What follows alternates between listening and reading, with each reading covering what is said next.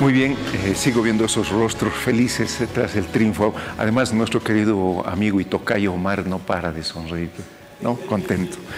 Bien, como todos los días tenemos algo muy interesante para ustedes, amables televidentes. Y esto tiene que ver con nuestro país, lo que ha ido pasando en el último tiempo en materia eh, de cómo se va construyendo el Estado y cómo el Estado atiende las necesidades de los diferentes actores, de los diferentes sectores y del pueblo en general.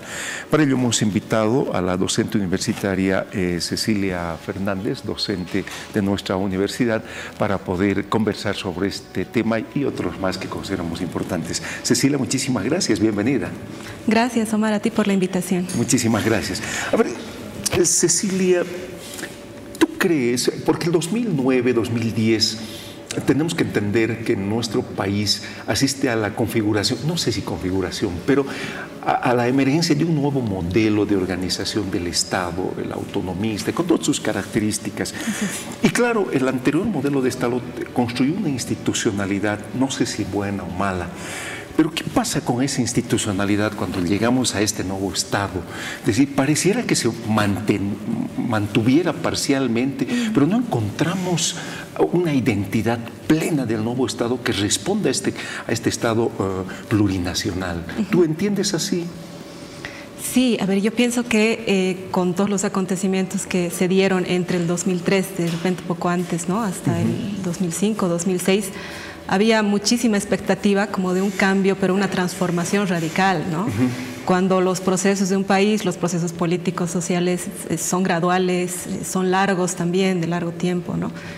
Y esa expectativa es la que un poco presiona a marcar una agenda y también a hacer promesas de cambios mucho más profundos. Y en el proceso eh, se van haciendo transformaciones, hay políticas públicas, ¿no? se profundiza el tema de las autonomías, se van a dar más espacios a ciertos sectores también relegados históricamente y demás. Y hay muchas cosas que se van a mantener de, la forma de Estado anterior, ¿no? que están enraizadas, están profundamente también estructuradas y los cambios se van dando de repente gradualmente, eh, de repente se van haciendo algunas modificaciones parciales y, demás, ¿no? Yo lo veo así. Ahora, eh, en la perspectiva de cómo vamos, porque claro, no hay una receta mágica de decir, este debe ser la institucionalidad que construye el Estado plurinacional, seguramente debe ser un proceso también largo, los procesos regularmente son largos. Pero en esta perspectiva, ¿cómo el Estado articula sus políticas a esta mirada de país, de la sociedad y sus necesidades?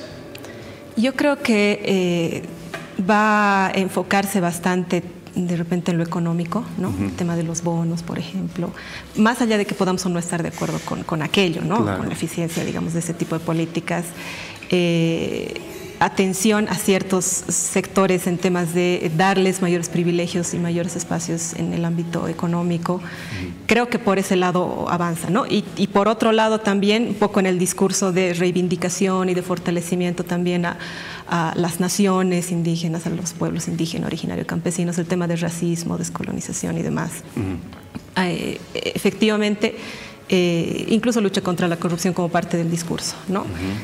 ya en el, en el camino, en el proceso, esos, esas transformaciones mm, se van, yo, yo pienso, ¿no? Se van viendo un poco más en la percepción que tiene la gente de, estos cambios.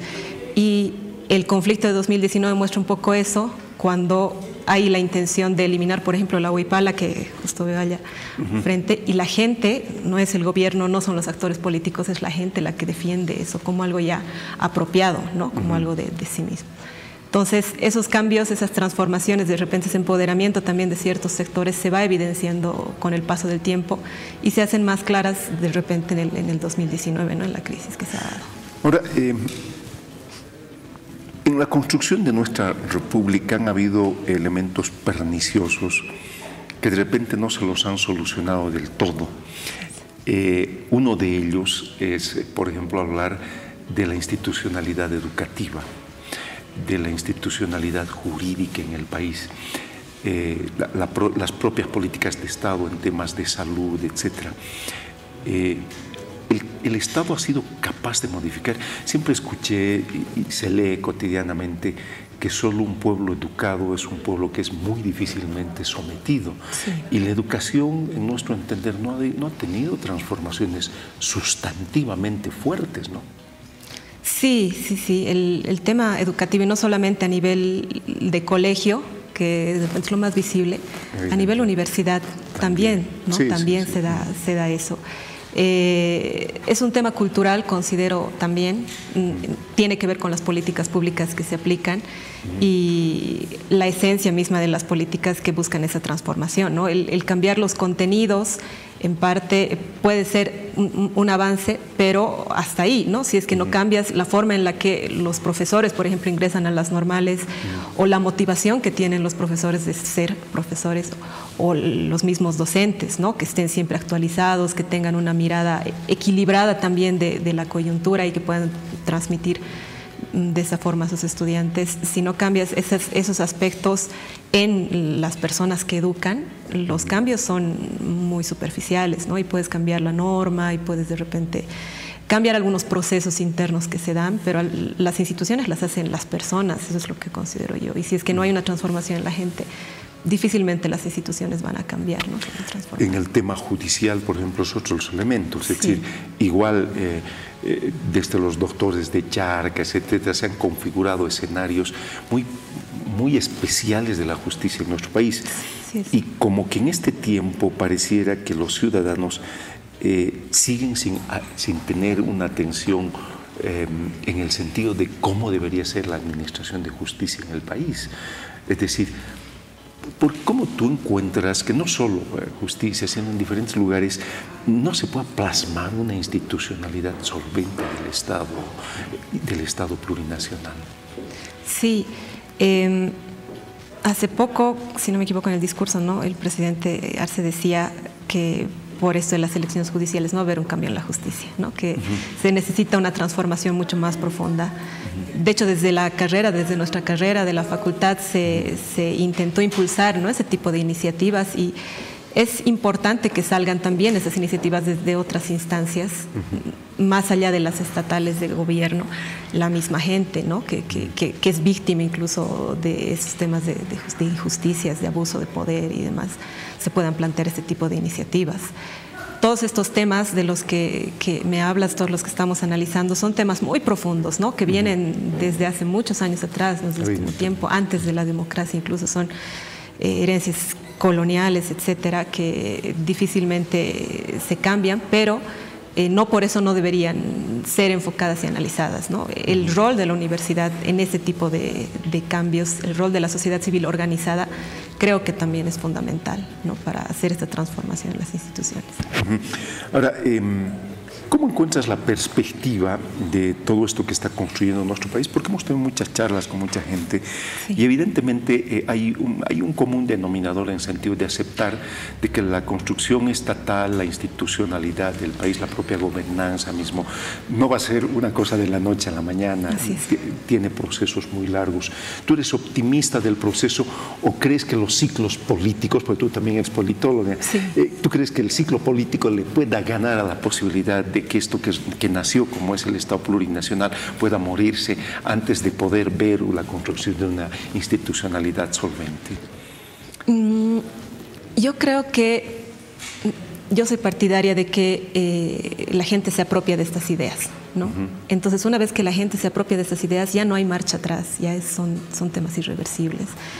Entonces, soy digamos, optimista, ¿no? en el sentido de que han habido conquistas, hay aspectos positivos, rescatables de todo este periodo, que no se van a poder revertir aunque haya un nuevo cambio, un nuevo ciclo o, entre nuevos actores políticos que quieran desmantelar, si se quiere, ¿no? Eh, como que tampoco se han hecho algunos cambios estructurales que se han dado en la etapa de los 90, ¿no? A pesar de que había una línea de cambiarlo todo no se ha dado porque son cambios estructurales que también ¿no? difícilmente se transforman. Y el hecho de que la gente se haya apropiado de ciertos resultados de, este periodo, considero yo que en el futuro no van a ser reversibles y eso se va a mantener. ¿no?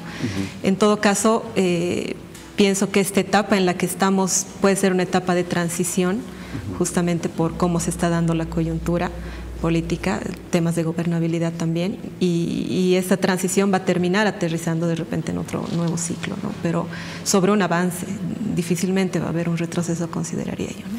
Entrando al, corto plazo, eh, políticamente eh, el actual gobierno como que su gobernabilidad se le comienza a, cerrar un poco en la perspectiva de no tener uno de los órganos fundamentales como es el legislativo. Eh, ¿Qué perspectiva ves para que el gobierno eh, actual tenga un nivel de gobernanza y una posibilidad de ejecutar políticas públicas que redunden en beneficio del país?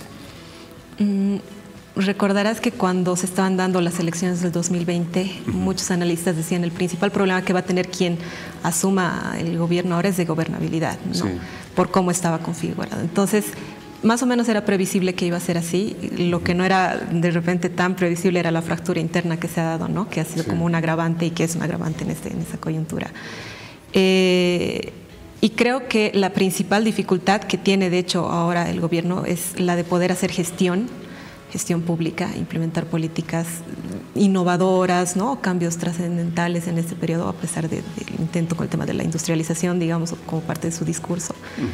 Porque esta, este conflicto político que se da en el, legislativo e incluso dentro del, del, ejecutivo, ¿no? porque igual ahí hay una fractura al interior, hace que cualquier Mm, propuesta que se quiera presentar tenga como un freno porque se dice, no, eso puede tener repercusión política, entonces mediremos, veremos, ¿no? Y es así como el aparato estatal empieza a ir mucho más lento y la gestión pública en sí también. Entonces, creo que en este, en este periodo va a ser un poco la línea de mantener la estabilidad, de no hacer grandes transformaciones, de tratar de dar continuidad a las políticas públicas que están ejecutando, porque hacer eso ya es complicado, ¿no? Con, con la oposición que hay en el legislativo. Eh, a esto si sumas eh, los enormes conflictos del contexto internacional. Em, ¿Ves viable eh, o, ves más optimista o pesimistamente la gestión gubernamental? a ver, en el caso de, de, Palestina, ¿no? el tema de mi ley en la Argentina también que se está dando Pienso que son temas bastante delicados, pero que bueno, han habido conflictos, situaciones similares antes, ¿no? Y los, y los gobiernos han sabido manejar la situación. Yo creo que ahorita el gobierno tiene un equipo que está consciente de lo delicado que es este momento y de cómo tiene que manejar con pinzas cualquier decisión política que tome y los acuerdos y la posición también que adopta respecto de ciertas coyunturas, ¿no? El hecho de que se haya manifestado eh, respecto de Palestina, el presidente tiene una, una, línea. ¿no? Lo mismo con Milei, con España, igual, Pedro Sánchez. Mm, yo creo que más que lo externo que puede tener como influencia, el tema interno va a ser el principal conflicto y el principal problema que va a tener que manejar el gobierno en estos Porque además estamos entrando en una gestión, yo diría en dos gestiones que van a ser altamente políticas. Y esto eh, como economista también sabes que la expectativa puede ser un, gatillo muy peligroso. Así es, es justamente el tema, por ejemplo, del dólar, ¿no? la especulación con el tema de alimentos, combustibles, el tema especulativo es muy sensible y la oposición lo sabe también. ¿no? Entonces, el hecho de jugar un poco con el tema de, las, de la especulación, de las expectativas de la gente, eh, tiene que ver con desestabilización y tiene también que ver con el rol que, que juega ¿no? como, como opositor. Y cuando se nos adelanta el tema electoral, porque normalmente es como el último año electoral, ¿no? Y eso es lo que, lo que se considera, pero aquí estamos en año electoral desde el año pasado, ¿no? Ya son tres. Creo que desde el comienzo. son cinco años, ¿no? Cuatro años de gestión eh, electoral prácticamente. Entonces, encontrar ese equilibrio de eso, de implementar políticas públicas, siempre pensando en la consecuencia política que va a tener, es lo que termina frenando y por eso es que se avanza también lento, ¿no? Por eso es que en la gestión es complicada. Eh, finalmente, porque eh, estos contextos nos hacen pensar en eh, la conflictividad interna. ¿Tú crees que mm, el hecho de que la dinamicidad de las políticas públicas no atienda tan rápidamente las necesidades de la población puedan generar cúmulos de demandas que crezcan peligrosamente para interpelar a la gestión gubernamental y a la propia gestión del MAS? Sí, y de hecho eso se puede capitalizar, ¿no? Se podría politizar bastante, eh, que no se atienda rápidamente las necesidades. Por eso yo pienso que eh, ante conflictos que van surgiendo de ciertos sectores, el gobierno intenta entrar en mesas de diálogo, negociación, los convoca a diálogo, ¿no? justamente para tratar de evitar que eso termine creciendo y se desborde porque la meta, entiendo, en ese tiempo es terminar la gestión, ¿no? y, pensar un poco en la, siguiente gestión, proyectarse, pero de entrada terminar estos dos años que quedan que van a ser tan conflictivos. Y atender inmediatamente estas demandas. El discurso de industrialización, por ejemplo, va un poco en esa línea, ¿no? Es como eh, cimentar generar una, una, base sólida para el futuro, resultados de largo plazo y ese tipo de cosas, que de alguna forma intentan dar eh, tranquilidad, dar una, una, señal de estabilidad a la gente, ¿no? el manejo de la inflación, crecimiento, que son, digamos, el discurso permanente del gobierno, es un poco eso, ¿no? Es decir, está todo bien y mantengámoslo así. Aunque la gente vive también en un sentido práctico terrible, ¿no? Es decir, cuando vas al mercado y encuentras el precio, la gente no termina de entender muchas cosas, sino la realidad objetiva que con la que se tropieza. Sí, exacto. Y yo pienso que la gente, eh, al final, y ese es el tema del voto, hace poco salió una, una encuesta de diagnosis, ¿no? Que seguramente la has visto, que decía, mucha gente... Eh, quiere mantener como está la situación, ¿no? Y es un poco el temor en general, no solamente el temor a una crisis, o sea, podemos estar peor de lo que estamos, ¿no? un poco en esa línea, pero también el temor que nos deja la pandemia de realmente cómo puede, puede ser, ¿no? Puede ser, ¿no? Que pierdes tu trabajo de un momento para otro, que no lo puedes encontrar y tienes una familia que mantener, ¿qué haces? Y, ese temor yo creo que sigue ahorita siendo peso en todas las familias, a pesar de que parecería que no se le da mucha importancia. es como si hubiera pasado ¿no? la pandemia, pero no, ese temor todavía sigue.